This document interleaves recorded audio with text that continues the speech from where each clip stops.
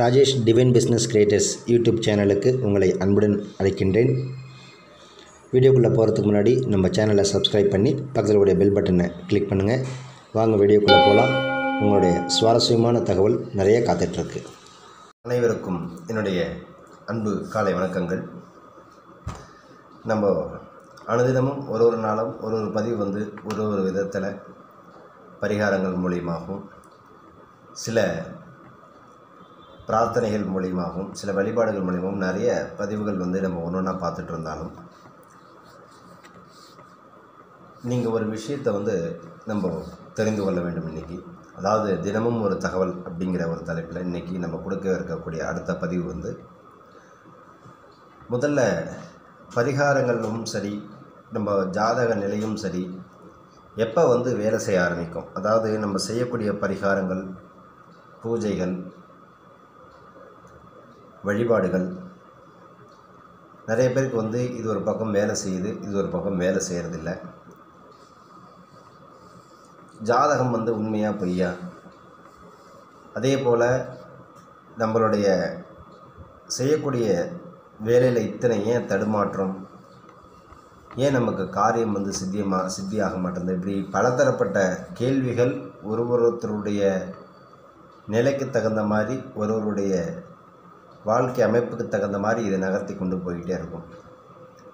அதனால் நம்மளுடைய குறிக்கோளுங்கிறது அந்த இடத்துல வந்து நம்ம கவனிக்க தவறிடுவோம். அதாவது எப்படி சொல்லணும் அப்படின்னா யோசித்து வைத்து மனதில் வந்து செஞ்சு யோசனை பண்ணி வச்சுருக்கிறது ஒரு பக்கம் இருக்கும்.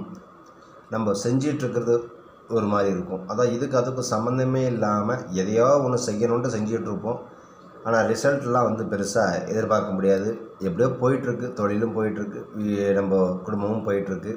ஆனால் ஒரு நிலையை வந்து எட்ட முடியல. இதெல்லாம் வந்து பேசுவதற்கும் சிந்திப்பதற்கும் இந்த மட்டும்தான் இதெல்லாம் வந்து பிரயோஜனமே தவிர ச ந- பிர- பிரயோஜனமே தவிர நடைமுறை வாழ்க்கைக்கெல்லாம் ஒத்து வராது அப்படிங்கிற ஒரு நிறைய ஒரு விஷயத்தை வந்து எல்லோரும் முடிவெடுத்துட்டு திருப்பி செய்கிறதையே செஞ்சுட்டு புதுசாக வரணும் அப்படிங்கிறது அந்த இலக்கை நோக்கி எல்லோரும் ஆசைப்படுறாங்க. அதாவது செய்கிறதையே செஞ்சிகிட்ருப்பாங்க இருப்பாங்க. ஆனால் இவங்களுக்கு வந்து அடுத்த நிலைக்கு போகணுங்கிற ஒரு ஆசை. அப்போது அடுத்த இடத்துக்கு போகணும் ஒரு ப்ரியாரிட்டியான இடத்துக்கு போகணும் ஒரு ஹைஃபை ஒரு நல்ல இடத்துல போய் உட்காரணும் அப்படின்னு நினைக்கிற நம்ம செய்கிறதையே செஞ்சுட்டு இருந்தால் ரிசல்ட் வந்து எப்படி இருக்கும் அப்படின்னா செய்யும்போது என்ன ரிசல்ட் வருதோ அதே ரிசல்ட் தான் வரும். ஆனால் நீங்கள் வந்து ஒரு மிகப்பெரிய ஒரு இலக்கை அடைய வேண்டும் என்ற எண்ணத்தை வந்து நீங்கள் விட்டுவிட வேண்டும். அதாவது நான் எப்பயுமே வந்து பாசிட்டிவ்க்கு வந்து பார்த்திங்கன்னா முக்கியத்துவம் கொடுத்து அதற்குண்டான ஒரு பரிகாரங்களையோ இல்லை அதுக்குண்டான வழிமுறைகளையோ இல்லை நம்ம கிளாஸஸோ எவ்வளவோ நம்ம வந்து எடுத்தாலும் கூட அடிப்படையாக மக்களுக்கு நீங்கள் தெரிந்து கொள்ள வேண்டிய விஷயம் என்ன அப்படின்னா நான் ஏற்கனவே நிறைய பதிவில் கொடுத்துருப்பேன். நீங்கள் முதல்ல ஒரு விஷயத்துக்கு முதல்ல தயாராகணும். நீங்கள் வந்து ஒரு முதல்ல ஒரு விஷயத்துக்கு தயாராகணும். இதுதான் இந்த ப இந்த ப- இந்த இந்த பதிவோட தலைப்பு இதுதான். நீங்கள் முதல்ல ஒரு வாழ்க்கையில் ஒரு விஷயத்துக்கு தயாராகணும். வாழ்க்கை வந்து எப்படி வேணாலும் மாறலாம். பத்து ரூபாயிலும் மாறலாம் ஆயிரம் ரூபாயிலும் மாறலாம் லட்ச ரூபாயிலும் வாழலாம் கோடி ரூபாயிலும் வாழலாம் எப்படி வேணாலும் மாறலாம். வாழ்க்கைங்கிறது எடுத்துக்கிறத விதத்தையும் பொறுத்து அதை நம்ம பார்க்கக்கூடிய மனநிலையை பொறுத்து தான் நம்மளோட வாழ்க்கையே அமையும். இதுதான் உண்மை. இதெல்லாம் வந்து இதெல்லாம் வந்து நிறைய ச ரிசர்ச்லாம் பண்ணி சைக்காட்டிஸ்ட்லாம் பண்ணி எவ்வளவோ நிறைய விஷயங்கள்லாம் வெளியே வந்தாச்சு. இந்த உலகத்தில் வந்து இப்போ எல்லாம் ரெடியாக இருக்குது நம்ம அனுபவிக்கிறது தவிர வேறு ஒன்றும் கிடையாது. இப்போல்லாம் போய் ரிசர்ச்லாம் பண்ணிகிட்டு இருக்க முடியாது. சரி வாழ்க்கையை முதல்ல ஜெயிச்சு வெளியே கொண்டு வரணும். நீங்கள் முதல்ல ஒரு விஷயத்துக்கு த வாழ்க்கையில் நீங்கள் ஒரு விஷயத்துக்கு தயாராகிறது எப்படி? அப்படிங்கிறத முதல்ல பார்த்துக்கோங்க எப்பயுமே வாழ்க்கைங்கிறது எப்படி அப்படின்னா உங்களுக்கு சிம்பிளாக சொல்லி புரிவிக்கணும் அப்படின்னா ஒரு ஸ்கூட்டராக வச்சுக்கோ ஒரு ஸ்கூட்டர் எடுத்துக்கோங்க. இப்போ அந்த ஸ்கூட்டருக்கு வந்து ஒன்றும் தெரியாது. அது ஆன் பண்ணால் ஆன் ஆகும். நீங்கள் எப்படி ட்ரைவ் பண்ணுறீங்களோ அப்படி ட்ரைவ் ஆகும். ஸ்பீடாக போனீங்கன்னா ஸ்பீடாக போகும். ஸ்லோவாக போனால் ஸ்லோவாக போகணும். பிரேக் போட இடத்துல பிரேக் போடும். ரெஸ்ட் எடுக்க வேண்டிய ரெஸ்ட் எடுத்துடும். ஏதாவது ப்ராப்ளம் வந்து அப்பப்போ சர்வீஸ் பண்ணணும். எப்படி நம்ம அந்த ஸ்கூட்டரை மெயின்டைன் பண்ணணும்? அந்த அளவுக்கு போய்கிட்டே இருக்கும். ஆனால் அதுக்கு என்ன பண்ணணுங்கிறது தெரியாது. தன்னை இயக்கத்தில் தன்னுடைய தன்னை இயக்குவதற்கு இயக்குவதற்கு ஒரு ஆள் தேவை. அப்போ தான் அந்த ஸ்கூட்டர் வந்து நல்லபடியாக அந்த இடத்துக்கு போய் சேர வேண்டிய இடத்துக்கு நம்ம போகிறதுக்கு கூட்டு போகிறதுக்கு எல்லாமே இந்த ஸ்கூட்டர் வந்து உபயோககரமாக இருக்கும். இது எல்லா இயந்திரங்களுக்கும் பொருந்தும். அதே மாதிரி தான் மனிதனுங்கிறது வந்து பார்த்திங்கன்னா ஒரு ஸ்கூட்டர் மாதிரி தான் நம்மளை இயக்கத்தில் நம்மளுடைய இயக்குவதற்கு ஒரு ஒரு விஷயம் வேணும். ஒரு விஷயத்தை தயார் பண்ணிக்கணும். அப்படி இல்லை அப்படின்னா நம்மளை வழி நடத்துறதுக்கு ஒரு குரு வேணும்.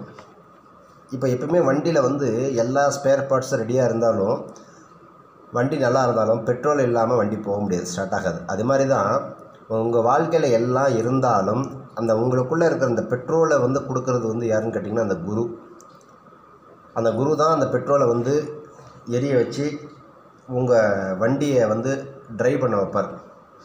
அப்போ உங்களுக்குள்ளே இருக்கிற பெட்ரோலை வச்சு தான் அந்த பெட்ரோல் எவ்வளோ தூரம் போகும் அந்த வண்டி எவ்வளோ தூரம் போகும் அப்படிங்கிறத நிர்ணயம் பண்ணுறது அப்போ உங்கள் உங்கள் மனசுக்குள்ளே இருக்கக்கூடிய உங்கள் எண்ணத்தில் இருக்கக்கூடிய அந்த ஒரு ஒரு தகவல் ஒரு தகவலில் சொல்கிறேன் நான் வந்து லட்சியம் ஒரு விஷயத்தை வச்சுக்கோங்க கோல் செட் பண்ணிங்க நான் அப்படிலாம் சொல்லி நான் அவங்கள வந்து இது பண்ணலை.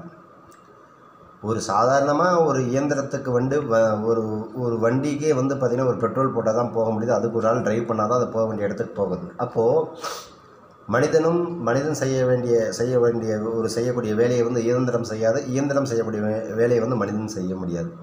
இப்படி ஓ இயற்கையில் வந்து இந்த பிரபஞ்சத்தில் ஒன்றுக்கும் ஒரு ஒரு விதமான சூட்சமங்கள் ஒரு ஒரு பரி ஒரு பரிமாண முறைகள் இருக்குது அது மாதிரி தான் மனிதருங்கிற ஒரு விஷயம் வந்து படித்ததே வந்து ஒரு கர்ம பலன்கள் எல்லாம் தாண்டி ஒரு மனிதன் வந்து ஒரு சிறப்பான நிலைக்கு வர வேண்டும் என்பது தான் இந்த பிரபஞ்சத்தில் கடவுள் உங்ககிட்ட எதிர்பார்க்கறது. அதாவது நீங்கள் உங்ககிட்ட இருந்து எதிர்பார்க்கறத விட கடவுள் உங்ககிட்ட இருந்து ஜாஸ்தி எதிர்பார்க்குறாரு. அதனால தான் வந்து பார்த்திங்கன்னா தொழிலுக்கு போகிறவங்க தொழில் பண்ணுறவங்க தொழில் பண்ணுவாங்க வேலைக்கு போகிறவங்க வேலைக்கு போவாங்க. அதாவது வேலைக்கு பண்ணுறவன் வேலை பண்ணுறவன் தொழில் பண்ண மாட்டான் தொழில் பண்ணுறவன் வேலை பண்ண மாட்டான். காரணம் அவருடைய கர்ம விதிப்படி நீ தொழில் பண்ணி தான் மேலே வரணுங்கிறது கடவுள் எதிர்பார்க்கறது விளைவு தான் நீ தொழில் பண்ணிகிட்ருக்க நீ வேலைக்கு போகணும்னு நினச்சிட்டு இருந்தால் நீ என்னைக்கோ நீ வந்து வேலையை படித்து ஒரு பத்தாயிரம் அஞ்சாயிரம் சம்பளத்துக்கு வேலை பார்க்கலையே அவனை தொழில் பண்ண வைக்கிறாரு. அப்போ நீ மேலே வரணும்னு எல்லாத்தையும் விட நீ மேலே வரணும்னு ஆசைப்படுறாரு அப்போ தொழில் பண்ணுறவங்க எல்லாருமே வந்து பார்த்திங்கன்னா ஆண்டவனுடைய அனுகிரகத்தை பரிசீக்க சீக்கிரமாக பெறலாம். சார் அப்போ வேலைக்கு போகிறவங்க வந்து கடவுளுடைய அனுகிரகத்தை பெற முடியாதா? வேலைக்கு போகிறவங்க எவ்வளோ சம்பாதிக்கிறாங்க இல்லையா? உண்மைதான். ஆனால் வேலைக்கு போகிறவங்களுடைய வாழ்க்கை வந்து எப்படின்னு கேட்டிங்கன்னா கடவுளுடைய அனுகிரகம் இவருக்கும் இருக்குது அவருக்கும் இருக்குது கடவுளுடைய பந்தத்தில் வந்து எப்பயுமே சின்னவன் பெரியவன் வேலை பணக்காரன் ஏழை கூலி அந்த மாதிரிலாம் வந்து பாகுபாடு கிடையாது. ஆனால் அந்த தரத்தை உயர்த்துவதுன்னு ஒன்று இருக்குது. எப்பயுமே வந்து பார்த்திங்கன்னா ஒரு நூறு செடி வச்சோம்னா நூறு செடியில் ஒரு பத்து செடி தான் முளைக்கும். அதே மாதிரி தான் மக்கள் பல விதத்தில் கருணை எல்லா அந்த அந்த கடவுளுடைய அருட்பார்வை வந்து எல்லாரோட எல்லா மக்களுக்கும் இருக்குது ஆனால் அதில் ஃபில்ட்ரு பண்ணி எடுப்பார் கடவுள். ஃபில்ட்ரு பண்ணி இவனுக்கு இந்த தகுதிக்கு தகுந்த மாதிரி ஒரு இடத்த கொடுத்து உட்கார வச்சு அழகு பார்ப்பார். அது எல்லாரையும் கடவுள் உட்கார வச்சு அழகு பார்த்துட மாட்டாரு. ஒரு சில பர்டிகுலர் மனிதர்களுக்கு பல போராட்டங்கள் பல கஷ்டங்கள் பல தடைகள் பல அவமானங்கள் பல சிக்கல்கள் இதெல்லாம் கொடுத்து அவனை ஃபில்டர் பண்ணி ஒரு ரெடி பண்ணி ஒரு எறும்பு மனிதனாக ரெடி பண்ணி ஒரு இடத்துல உட்கார வச்சு அழகு பார்த்துருவார். அப்படி உட்காந்துட்டா அப்படின்னா அவர் பத்து தலைமுறை உட்காந்து சாப்பிடுவான். ஸோ அந்த மாதிரி ஒரு ஆளாக உருவாக்கி காமிப்பார். அதில் பார்க்கும்பொழுது இந்த தொழில் முனைவோர்கள் இந்த தொழிலில் இருக்கிறவங்களாம் சாதித்து மேலே வருவாங்க. ஆனால் வேலையை போகிறவங்கள பார்த்திங்கன்னா அந்த ஒரு ஆ- அந்த ஒரு ஒரு பரீட்சையை வந்து அவங்கள்ட்ட எதிர்பார்க்க முடியாது. ஏன்னா அவங்களுடைய வேலையை வந்து அன்றாடமே வேலை செஞ்சுன்னு வேலை செஞ்சால் சம்பளம்ங்கிற அந்த ஒரு இடத்துல மட்டும்தான் போவாங்களே தவிர அதிலிருந்து வெளியே வந்து கூண்டை உடச்சி வெளியே வர்ற ஒரு சில மனிதர்கள் மட்டுமே வாழ்க்கையில் வெல்லக்கூடிய ஒரு விஷயம் இருக்குது சரி நான் தலைப்புக்கு வரேன் இப்போ. வாழ்க்கையில் நீங்கள் ஜெயிக்கணும் அப்படின்னு முடிவு பண்ணிட்டீங்கன்னா முதல்ல ஒரு விஷயத்தை தேர்ந்தெடுங்க. உங்களுக்கு இத்தனை நாள் நீங்கள் கற்றுக்கிட்ட விஷயங்கள் இத்தனை நாள் உங்களுக்கு பயன்பட்ட எல்லா விஷயங்களுமே உங்களுக்கு வந்து ஒரு பிரயோஜனத்தை தரலை. இப்போ நீங்கள் நல்லா யோசனை பண்ணி பாருங்கள் இப்போ உங்ககிட்ட என்ன இருக்கோ இப்போ நீங்கள் என்ன கற்று வச்சுருக்கீங்களோ அதுதான் இத்தனை நாள் நீங்கள் வந்து சம்பாரித்து வச்சது. கற்றுக்கிட்டதும் கூட அதுதான். நீங்கள் என்ன வச்சுருக்கீங்களோ அதுதான் இப்போது நீங்கள் சம்பாதிக்க வச்சது. நீங்கள் என்ன உயரத்தில் இருக்கீங்களோ அந்த உயரத்துக்கு உண்டான அளவை மட்டுமே நீங்கள் கற்று கற்றுக்கொண்டது. அப்போது நான் சொல்ல வேண்டிய விஷயம் என்ன அப்படின்னா ஒரு வாழ்க்கையில் நீங்கள் ஒரு இடத்துல போகணும் ஒரு இடத்துக்கு வந்து ஒரு உன்னதமான வாழ்க்கையை வாழணும் அப்படின்னு நீங்கள் முடிவு பண்ணிட்டீங்க அப்படின்னா நீங்கள் ஒரு உயர்ந்த தரமான ஒரு கருத்தை வந்து நீங்கள் கொண்டிருக்க வேண்டும். உயர்ந்த தரமான கருத்துக்கள்லாம் எப்படி சொல்கிறது அப்படின்னா இந்த உலகத்தில் வந்து மனிதராக பிறந்த அனைவருமே செய்கிறதுக்கு நிறைய விஷயங்கள் இருக்குது அதாவது என்ன சொல்கிறது உதவுறதுக்கும் சரி படிக்க வைக்கிறதுக்கும் சரி பல விஷயங்கள் இந்த உலகத்தில் செய்கிறதுக்கு நிறையா இருக்குது ஆனால் அதுக்கு தேவை பொருளாதாரமும் அந்த மனமும் தான். அப்போ உயர்ந்த பொருளாதார நோக்கையும் உயர்ந்த சமூக நோக்கத்தையும் யார் வைத்து அதனுடைய காலை வந்து முன்னெடுத்து வைத்து நகர்கின்றார்களோ அவர்கள் தான் வந்து பார்த்திங்கன்னா வாழ்க்கையில் மிகப்பெரிய ஒரு இடத்தை அடைய முடியும். இது நீங்கள் வந்து எல்லா துறையில் இருக்கக்கூடிய நபர்களையும் நீங்கள் பார்த்தீங்கன்னாவே தெரியும். இப்போ ஒரு கம்பெனி எம்டி எடுத்துக்கோங்க. அவர் வந்து தன்னுடைய நோக்கத்தையும் பார்க்குறார் தன்னுடைய லாபத்தையும் பார்க்குறார். அதே மாதிரி தன்னுடைய ஊழியர்களுடைய லாபத்தையும் பார்க்கறதுனால தான் அது வந்து ஒரு கம்பெனி நிறுவனராக இருக்கிறார். நம்ம ஒரு ஊழியராக இருக்கிறதுனால இன்ன வரைக்கும் ஊழியராகவே இருக்கும். அப்போ நீங்கள் வந்து மேலே வரணும் அப்படின்னா முதல்ல ஃபஸ்ட்டு நீங்கள் ஜெயிக்கணும் அப்படின்னா முதல்ல உங்களுக்கு ஒரு சமூக நோக்கம் இருக்கணும். சமூக ஒரு உயர்ந்த நோக்கத்தோடு நீங்கள் முதல்ல வாழ்க்கையில் அடியெடுத்து வைக்கணும். அதே மாதிரி அந்த சமூக உயர்ந்த நோக்கம் நல்ல ஒரு கருத்துக்களோடு மக்களுக்கு உதவக்கூடிய நோக்கத்தில் இருந்துச்சு அப்படின்னா நிச்சயமாக அந்த கருத்துக்கள் மக்களிடையே மிகப்பெரிய ஒரு எதிர்பார்ப்பையும் பூர்த்தி செய்து அவர்களே உங்களுக்கு பணத்தை கொண்டு வந்து காலில் சேர்த்து விடுவார்கள். நல்ல விஷயமா இருக்கும் பொழுது நம்ம மக்கள் கண்டிப்பாக ஏற்றுக்குவாங்க ஒரு விஷயத்தை எதிர்மறையான ஒரு விஷயத்தை ஒரு சுயநல லாபத்தோடு இருக்கக்கூடிய ஒரு விஷயத்தை நீங்கள் என்றைக்கு நீங்கள் ஆரம்பித்து நீங்கள் செய்ய ஆரம்பிக்கிறீங்களோ அது ரொம்ப காலம் நிற்காது தடைபெற்று போயிடும். அப்போ வாழ்க்கையில் நீங்கள் ஜெயிக்கணும் அப்படின்னா நீங்கள் ஒரு உயர்ந்த லட்சியத்தோட ஒரு கருத்தை கொண்டு இருக்கணும். சாதாரணமாக நினைக்காதீங்க. பத்தாயிரம் அஞ்சாயிரம் ஒரு கோடி ரெண்டு கோடி இதெல்லாம் வந்து இன்றைக்கெலாம் வந்து ஒரு காமன் ஒரு கோடி ரூபாங்கிறதெல்லாம் இன்றைக்கெலாம் ஒரு காமன் வெறும் பணம் அந்த ஒரு நோக்கத்தையே வைத்து நீங்கள் வாழ்க்கையில் ஓடாதீங்க. பணம் ரொம்ப ரொம்ப ரொம்ப ரொம்ப முக்கியம்தான். இல்லைன்னு சொல்லவே இல்லை. பணத்தை வைத்து தான் எல்லாமே நம்ம செய்ய முடியும். ஆனால் அந்த பணம் வருவதற்கு உண்டான ஒரு நோக்கம் வேணும் இல்லையா? நல்லா புரிந்து கொள்ள வேண்டும். நான் என்னுடைய இந்த விஷயத்தை. பணம் வாழ்க்கையில் ரொம்ப முக்கியம்தான். பணம் தான் வாழ்க்கை எல்லாத்தையும் பூர்த்தி செய்கிறது ஆனால் அந்த பணம் நம்மிடம் வருவதற்கு உண்டான ஒரு நோக்கம் சரியாக இருந்தால்தான் அந்த பணமே நம்மிடம் வந்து வந்து சேரக்கூடிய ஒரு நிலையை ஏற்படுத்தி தரும். அப்போ அந்த உயர்ந்த நோக்கம் வந்து மிகப்பெரிய அளவில் இருந்தால் மட்டும்தான் அந்த பணம் நம்மக்கிட்ட வந்துக்கிட்டே இருக்கும்.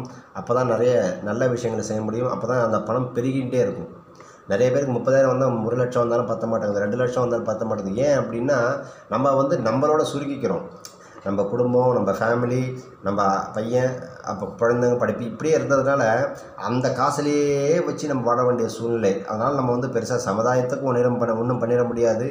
நம்ம சுற்றி இருக்கிற நபர்களுக்கும் ஒன்றும் பண்ணிட முடியாது. கடைசி வரைக்கும் அந்த குப்புசாமி எங்கே நாலாவது வீட்டில் இருந்தான்னா குப்புசாமி இருந்தானாலே தெரியாது. செத்து போயிடுவாங்க கடைசியில்.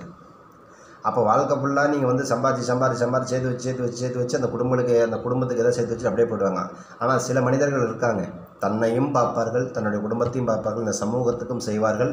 அவர்கள் கடைசி காலம் இல்லை அவங்க வாழ்ந்தும் அவங்க மறைந்தாலும் அவர்களுடைய பேரும் நிற்கும். அந்த ஒரு நிலை போய்கிட்டே இருக்கும். அந்த ஒரு தொடர்கதை வந்து போய்கிட்டே இருக்கும். ஸோ நீங்கள் பணம் உங்களை தேடி ஜாஸ்தி வரணும் அப்படின்னா நீங்கள் முதல்ல ஒரு விஷயத்தை நீங்கள் தெரிஞ்சு வச்சுக்கணும். வாழ்க்கையில் நீங்கள் மிகுந்த அதாவது ஒரு உயர்ந்த சமூக நோக்கத்துக்கு உண்டான ஒரு கருத்தை நீங்கள் வச்சுருந்தா மட்டும்தான் அது ஒரு மிகப்பெரிய பணத்தை கொண்டு வந்து தரும். இது ஒரு உதாரணமாக நான் சொல்லணும் அப்படின்னா ஆரம்ப காலகட்டத்தில் இந்த பணம் டிமான்ஸ்ட்ரேஷன் வர டைம் இல்லை இந்த பணம் க இது பண்ணாங்க இல்லையா?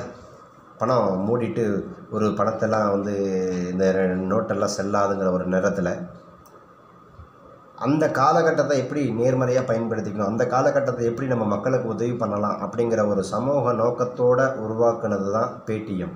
எல்லாருக்கும் தெரியும். பேடிஎம்னா பேடிஎம்ங்கிறது நம்ம வந்து நம்ம டிஜிட்டல் தளத்தில் ஆன்லைனில் மூலிமா ஒருத்தருக்கு மூலிமா ஒருத்தருக்கு பணத்தை செலுத்தக்கூடிய ஒரு தளம். அவ்வளோதான் ஆனால் அந்த தளத்தில் அதை வச்சு நம்ம இன்னும் என்னென்னலாம் செய்யலாம்? என்னென்னலாம் கொடுக்கலாம் மக்களுக்கு? அப்படிங்கிற ஒரு ஆரம்பித்த ஒரு நோக்கத்தினுடைய தன்மை தான் இன்றைக்கி பேடிஎம் மிகப்பெரிய மரமாக வந்து நிற்கிது இன்றைக்கி பேடிஎம் வந்து பார்த்திங்கன்னா கிட்டத்தட்ட ஒரு எண்பது கோடி ரூபாயிலேருந்து ஐம்பது கோடி ரூபாய் வரைக்கும் ஒரு டொனேஷன் பிஎம் கேர்ஸ் ஃபண்டுக்கு கொரோனா டைமில் உதவி பண்ணியிருக்காங்கன்னா சாதாரண விஷயம் இல்லை. ஈவன் ஊழியர்களுக்கு சம்பளத்தையும் கொடுத்துருக்காங்க. ஷேர்ஸை கொடுக்குறாங்க. ஒன்றுமே கிடையாது. அந்த பேடிஎம்மில் ஒன்றுமே இல்லை. நீங்கள் பார்த்தீங்கன்னா ஜஸ்ட் பே டு பே பார்க்குறதுக்கு வந்து பெரிய விஷயமா தெரியாது வெளியில் பார்க்கும்போது ஆனால் உள்ளே அவ்வளோ பேர் ஒர்க் பண்ணிகிட்டு இருக்காங்க. அவ்வளோ பெரிய விஷயங்கள் இருக்குது அதில். அப்போது உலகத்தில் இருக்கக்கூடிய அத்தனை நூறு கோடி மக்களை ஒரு உதாரணமாக எனக்கு தெரிஞ்சு பார்த்தா அந்த பேடிஎம்மில் வந்து பார்த்திங்கன்னா ஒரு நூறு கோடி மக்கள் ஆல் ஓவர் இந்தியா எல்லாம் உபயோகப்படுத்துவாங்க. அப்போ நூறு கோடி மக்கள்கிட்டருந்து ஒரு ரூபான்னு கணக்கு வச்சா கூட ஒரு நாளுடைய டர்ன் ஓவர் எவ்வளோன்னு யோசனை பண்ணி பாருங்கள் அந்த கம்பெனிக்கு அப்போது சமூக நோக்கத்தோடு நாம் செய்யக்கூடிய எந்த செயல்களாக இருந்தாலும் நமக்கு லாபத்தை மட்டும் தருவதோடு மட்டுமல்லாமல் மக்களுக்கு தேவையான வசதிகளையும் பூர்த்தி செய்து கொடுத்து அந்த மக்களிடமிருந்து நமக்கு லாபம் வரும் பொழுது அந்த லாபம் வந்து நிலையாக நிற்க நிற்கின்றது. நம்மளுடைய பேரையும் சொல்லுகின்றது அது வளர்ந்து வந்தே வந்து இருக்கின்றது.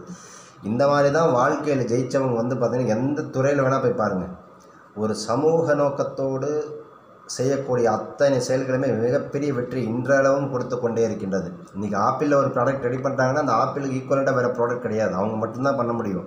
ஆனால் இன்றைக்கி ஆப்பிள் எந்தளவுக்கு உபயோகமாக இருக்குது அப்போது ஆப்பிளுக்குன்னு ஒரு தரம் இருக்குது ஆப்பிளுக்குன்னு ஒரு தேவை இருக்குது ஒரு சே ஒரு ஒரு கஸ்டமர்ஸ் இருக்காங்க. ஆப்பிளுக்கு உண்டான சேவை ஜாஸ்தி.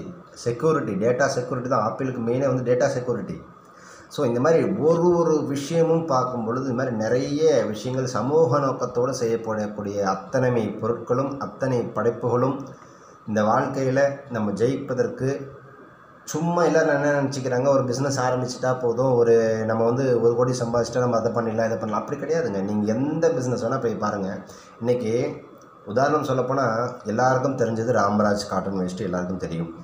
கேபிஎன் ட்ராவல்ஸ் தெரியும். அதே மாதிரி இப்படி ஆரம்பித்த இந்த மாதிரி நிறுவனங்கள் சின்ன சின்ன சின்ன சின்ன நிறுவனங்கள் வந்து பார்த்திங்கன்னா அவங்க ஒரு கொண்ட ஒரு உயர்ந்த தரமான கொள்கை. ஈவன் ராமராஜனாக நீங்கள் நியூஸ் எல்லாம் கேட்டு பாருங்கள் யூடியூப்ஸில் போய் பாருங்கள் தெரியும். ஆரம்ப காலகட்டத்திலலாம் அவரெல்லாம் வந்து தலையில் ஒரு ரோடு சேல்ஸ் மார்க்கெட்டிங் மேனாக இருந்தவர். ஒரு ஒரு கடையாக ஏறி ஏறி ஏறி ஏறி ஏறி விற்றவர் இன்றைக்கி ராமராஜ் வந்து மிகப்பெரிய சாம்ராஜ்யம். எப்படி உருவாச்சு? ஒரு ஆள் தான் உருவாக்குனார். அதுக்கப்புறம் சப்போர்ட் எப்படி உருவாச்சு? அப்போ அவங்கெல்லாம் ஒரு உயர்ந்த ஒரு தன்னுடைய தொழிலை வந்து ஒரு பெரிய அளவுக்கு பார்த்தாங்க. ஒரு பெரிய கருத்தோடு ஒரு பெரிய சமூக நலத்தோடு அந்த தொழிலை கொண்டு போனதுனால தான் அவங்களால அந்த ஸ்ட்ரகிள்ஸ் எல்லாம் ஓவர் கம் பண்ணி வர முடிஞ்சது. நம்ம ஒரு தொழிலை ஆரம்பிச்சுட்டு ஒரு தடை வந்துட்டான் நொந்து போயிடுறோம் கடன் வந்துட்டான் நொந்து போயிடுறோம் பல பிரச்சனை கண்டு ஓடி போடுறோம் காரணம் என்னென்னா நம்ம லாபத்தை மட்டும் பார்க்கறதுனால தான் நம்ம தொழிலை பெரிய அளவு கொண்டு போக முடியல. நீங்கள் லாபமும் வேணும். அதுக்காக லாபம் இல்லைன்னு சொல்ல வேணாம்னு சொல்லணும் லாபம் இல்லாமல் தொழில் கிடையாது. ஆனால் லாபமும் வேணும். அந்த லாபம் பெருகணும் அப்படின்னா அது யார் கையில் இருக்குது உங்கள் கையில் கிடையாது. கஸ்டமர் கையில் இருக்குது அப்போ அந்த கஸ்டமருக்கு ஒரு சிறந்த ஒரு சேவையையும் கஸ்டமருக்கு நிறைவான ஒரு தரத்தையும் அந்த ஒரு கஸ்டமரை வந்து திருப்பி திருப்பி வர வைக்கிறதுக்கு உண்டான சேவை மனப்பான்மையும் ஒரு சமூக நலத்தோட அக்கறையோடு நீங்கள் அந்த உங்கள் தொழிலை கொண்டு போக ஆரம்பிச்சிங்க அப்படின்னா மிகப்பெரிய சாம்ராஜ்யத்தை நீங்களும் உருவாக்கலாம். ஸோ வாழ்க்கையில் நீங்கள் ஜெயிக்கணும் அப்படின்னா ஒரு உயர்ந்த மிக உயர்ந்த சமூக அக்கறையோடு கொண்ட ஒரு கருத்தை நீங்கள் வைத்துக்கொண்டு உங்கள் தொழிலை இயக்க ஆரம்பியுங்கள்.